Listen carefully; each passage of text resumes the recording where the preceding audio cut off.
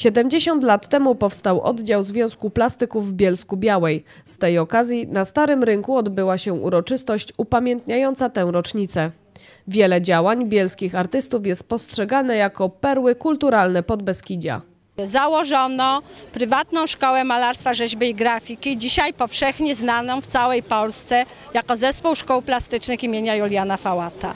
Założono, wybudowano w zasadzie pierwszy w województwie śląskim, a nawet powiedzielibyśmy w Polsce, własny pawilon wystawowy który umożliwiał prezentowanie różnego rodzaju osiągnięć, a przede wszystkim organizowanie wystaw.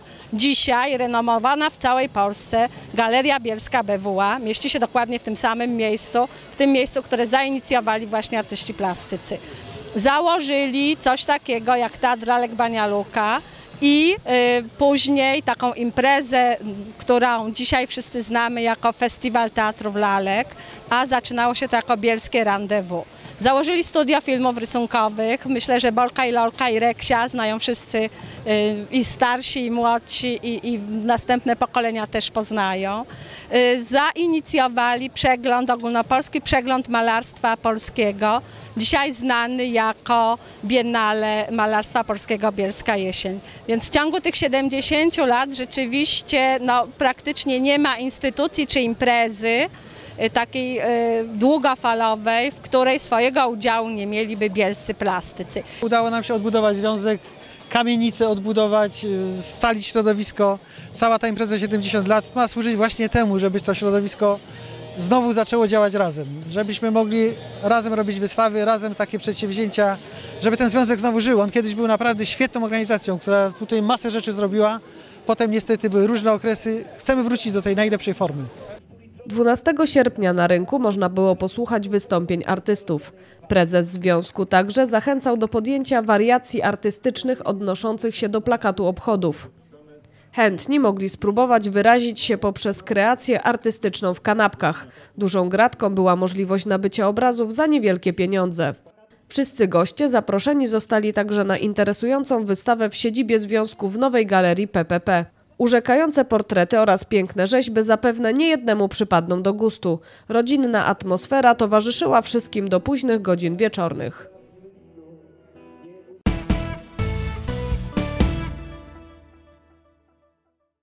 W niedzielę 9 sierpnia w Brzeszczach odbyło się referendum, podczas którego mieszkańcy mieli zdecydować, czy potrzebna jest Straż Miejska w tej gminie.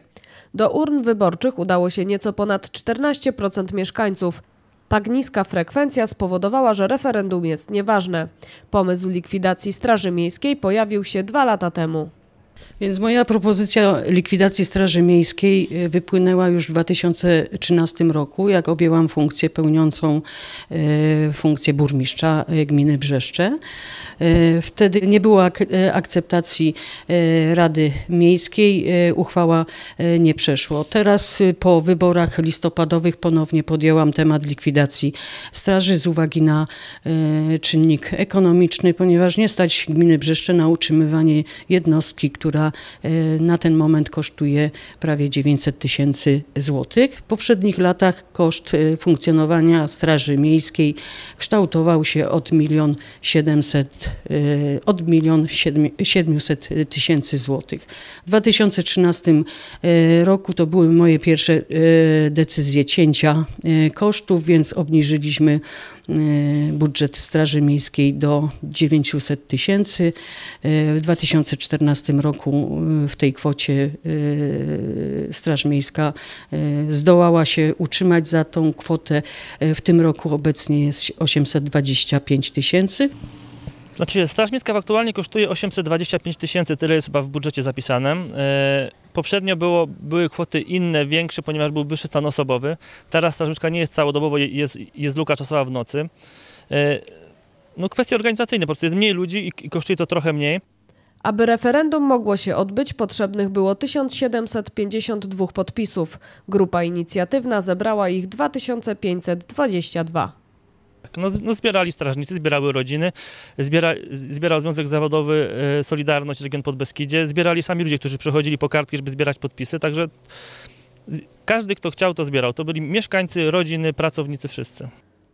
O tym, że referendum jest nieważne, zdecydowała niska frekwencja. Uprawnionych do głosowania było 17 561 mieszkańców. W referendum oddano 2457 ważnych głosów, w tym 1650 było na tak, a 807 na nie. Wszystkim się wmawiało, że ludzie nie chcą straży, a referendum okazało trochę coś innego, że tylko 807 osób zagłosowało przeciwko straży, więc to jest, to też pokazuje, że to nie jest tak, że wszyscy są przeciwko straży i trzeba głos ludzi wziąć pod uwagę przy decyzji. Do y, głosowania poszło tylko 14% mieszkańców.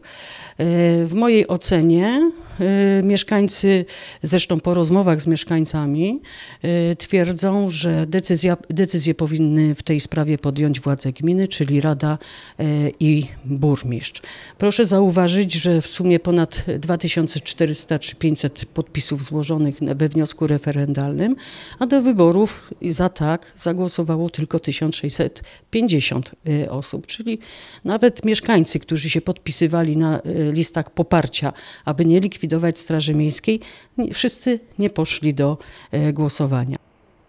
O tym, czy Straż Miejska w gminie Brzeszcze będzie nadal funkcjonować, mają zdecydować radni w głosowaniu podczas sesji. Będzie przygotowana uchwała o likwidacji y, Straży Miejskiej i decyzję podejmie y, Rada. Teraz czekamy, czy w ogóle będzie się to w, w projekcie e, w porządku obrad, jeśli chodzi o sesję Rady Miejskiej. Jak będzie, to pewnie radni będą musieli podjąć decyzję. Mam nadzieję, że podejmą zgodną z własnym sumieniem, no i wezmą pod uwagę głos mieszkańców. Ja uważam, że nawet jeżeli ktoś był na nie, to też powinien iść i powiedzieć, że nie. A jak ktoś na tak, to tak. No, takie referenda nie mają sensu, bo to są wydawanie pieniędzy i, i, i- to, co poszło na referendum, mogło iść na inne cele. Wiem, ja mam takie mieszane uczucie. Trudno mi powiedzieć. Mnie się wydaje, że są potrzebni. Sądziłbym, żeby, że należy byłoby zlikwidować. A dlaczego?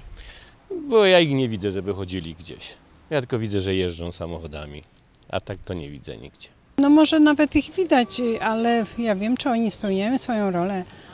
Mm, Ja widzę na przykład na osiedlu wiele rzeczy, na których mogliby zwrócić uwagę, a, niestety mm, albo przechodzą obok, albo chodzą tak, żeby nie, nie było widać. No.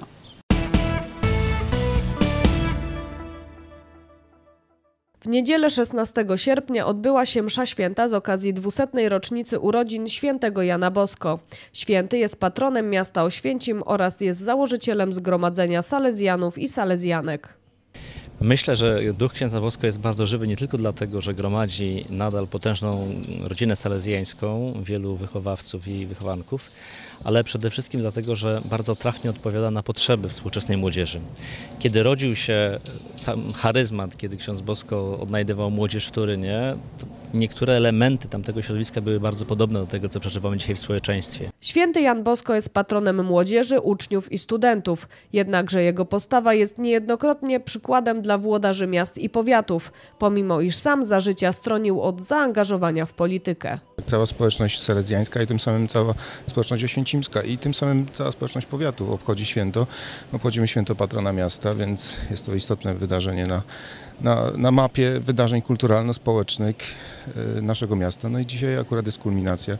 Świętujemy dwusetlecie urodzin świętego Jana Bosko. Mamy tu do czynienia z po- postacią nietuzinkową.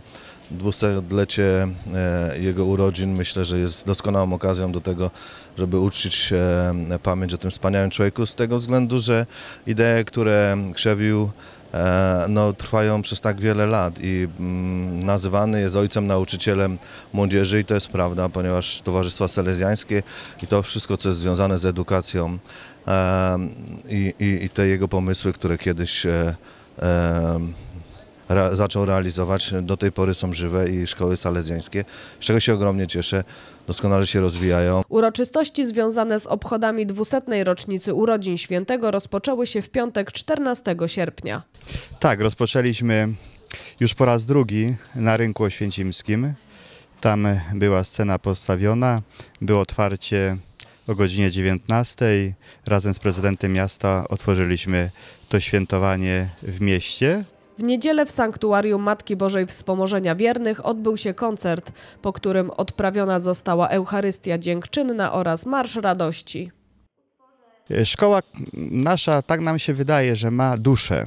Jest to szkoła z duszą, a tą duszą jest charyzmat e, salezjański, który e, czerpiemy od świętego Jana Bosko. Młodzież nie tylko zdobywa tutaj wiedzę, ale ma również szansę rozwoju na różnych płaszczyznach, różnych kół zainteresowań, e, różnych kursach również, kursach, które dają mi również kwalifikacje, nie tylko te, które zdobywają w szkole, ale również poszerzają ich zakres umiejętności na późniejsze życie.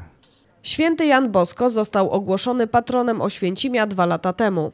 Jak przypominają gospodarze tego miejsca, kiedyś znajdował się tutaj klasztor dominikanów. Po kasacie zakonu w XVIII wieku jego zniszczone zabudowania przejęli Salezjanie, zakładając tu swój pierwszy na ziemiach polskich klasztor.